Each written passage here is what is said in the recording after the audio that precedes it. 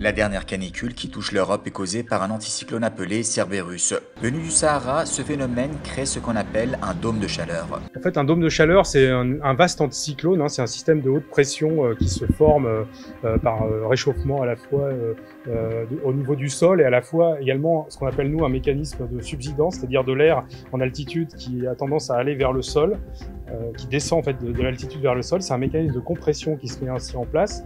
Et donc, en se comprimant, l'air se réchauffe et s'assèche. Les dômes de chaleur sont devenus plus fréquents et plus intenses ces dernières années en raison du changement climatique, ce qui montre, il faut le souligner, l'importance de prendre des mesures d'adaptation et d'atténuation pour faire face à ces événements extrêmes. Les fortes températures peuvent causer des coups de chaleur, des maladies liées à la chaleur et des problèmes respiratoires. Ils peuvent également aggraver la sécheresse, augmenter le risque d'incendie de forêt et nuire aux cultures et aux écosystèmes. Pour se protéger en cas de canicule, les pompiers préconisent de boire régulièrement de l'eau, même si on n'en ressent pas le besoin. Il faut rester au frais ou à l'ombre et de ne pas s'exposer longtemps au soleil ou dans une pièce non ventilée, d'éviter les boissons trop sucrées ou à forte teneur en caféine, mais aussi de manger correctement en favorisant les fruits et légumes riches en eau. Pour mémoire, cette vague de chaleur s'apprête à s'installer dans le sud de la France avec des températures maximales avoisinant les 37 à 40 degrés du sud du Rhône-Alpes au midi toulousain.